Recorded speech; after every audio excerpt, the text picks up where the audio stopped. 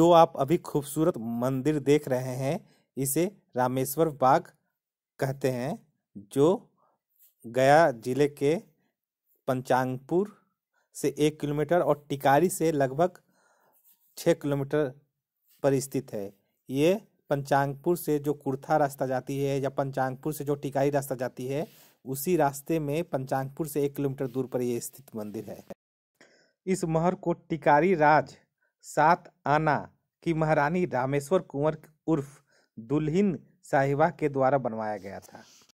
रामेश्वर बाग के मंदिर और मंदिर के इसके आसपास के बाग बगीचे का क्षेत्रफल उस जमाने में सैकड़ों बीघा में फैला हुआ था। टिकाई राज सात आना के प्रथम महाराज मोत नारायण सिंह के दत्तक पुत्र रन बहादुर सिंह की शादी गया जिला के सेवतर स्टेट में रामेश्वर कुंवर उर्फ़ दुल्हिन साहिबा के साथ हुई थी।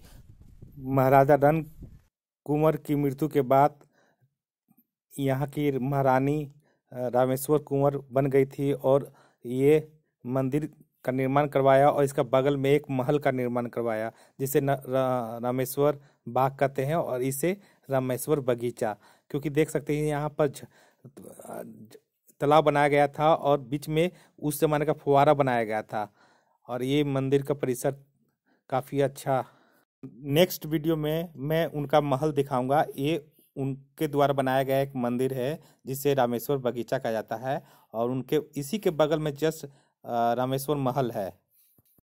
देख सकते हैं, इसमें गणेश की प्रतिमा थी और देखिए, काफ़ी खंडर हो चुका मेंटेनेंस की कमी है। मैं यहाँ के मुखिया से लोकल मुखिया लोकल विधायक से मैं ये आग्रह करता हूँ कि इसकी साफ़ सफ़ाई करवाया जाए। ये प्राचीन धरोहर है और इसे नष्ट न होने दे। मैं उनसे प्रार्थना करता हूँ कि यहाँ आए और बीच बीच में साफ़ सुथरा करवाएँ और फूल फूल पौधा रोपण करवाएँ।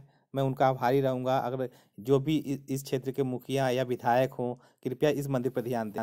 मुझे एक इस मंदिर में एक बाबा जी मिल, मिले जो तीन साल से यहाँ रह रहे हैं। उनसे मैंने बहुत देर वार्तालाप किया और बहुत कुछ समझने की को, कोशिश किया कि आखिर ये खंडहर क्यों बनता जा रहा है? मतलब इसका रख रखाव क्यों नहीं हो पा रहा है? उन्होंने कहा कि यहाँ बहुत कम लोग आते हैं तो मैंने पूछा कि विधायक आते हैं कि नहीं या मुखिया आते नहीं, कुछ फंड मिलता है कि नहीं मिलता है?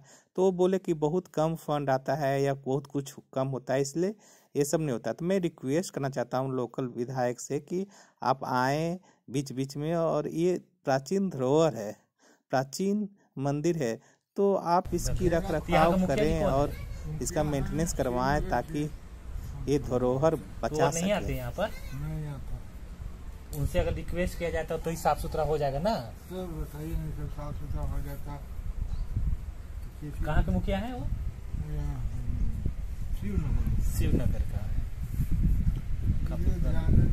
साल काफ़ी प्राचीन मंदिर है। टेकारी में आता है या पंचांगपुर में? पंचांगपुर में ही आता है। आप रहने वाले कहाँ के हैं? बेला थाना के रहने वाले हैं। इसी मंदिर में रहते हैं। अच्छा। और इस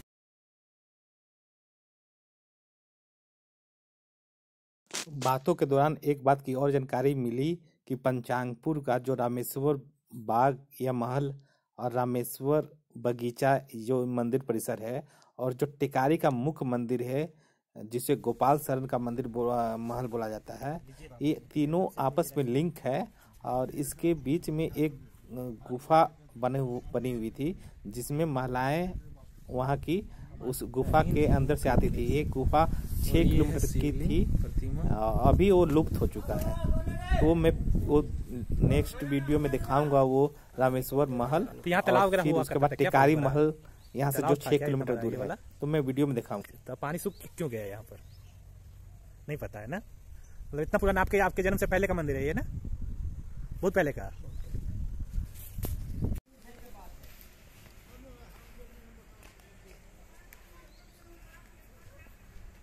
यह है प्रवेश द्वार।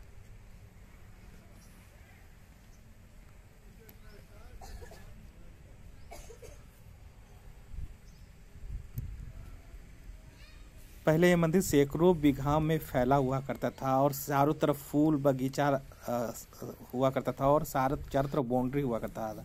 इसी के जस्ट बगल में महल है और ये उसके, उस महल के परिसर में ही ये मंदिर बना हुआ था। और पुराने ज़माने का इसमें तालाब था, मंदिर के आगे तालाब था जो ईंटों से घिरा हुआ था और बीच में एक फुहारा टाइप का एक झरना बना हुआ था। हाँ, वो झरना देख सकते हैं आप। देखिए ये झरना देख रहे हैं ना? यही झरना था। और पूरा चारों तरफ़ जो देख रहे हैं ये घिरा हुआ है। पूरा घिरा हुआ है ये चारों तरफ़ से। और ना और ये बड़ा बड़ा सीढ़ियाँ लगा हुआ झरनों तालाब में उतरने के लिए। और इसी से 100 मीटर या फिर 200 मीटर में लगभग रामेश्वर महल है जो मैं नेक्स्ट वीडियो में दिखाने वाला हूँ। तो अभी चलते हैं। काफ़ी समय हो चुका है।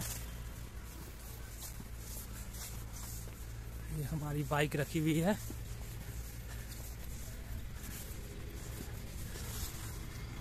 तो चलती गौतम कब से कहाँ करे तुम्हारा? अनोनी नोनी। यहाँ दिल्ली आते हो तुम घूमने? नहीं नहीं। भट्टा कमाने आया। है कहाँ घर है तुम्हारा इसे? गाँव झारखंड में? तो? नोनी टिकारी में अच्छा। ठीक है लो। चल जाओ। चाबी छूट गया था बाइक में मंदिर पर ही तो मैं लाने गया था। वो मंदिर देख सकते हैं, कितना भव्य है और अच्छा है। रोड गया टू कुर्था या फिर पंचांगपुर टू कुर्था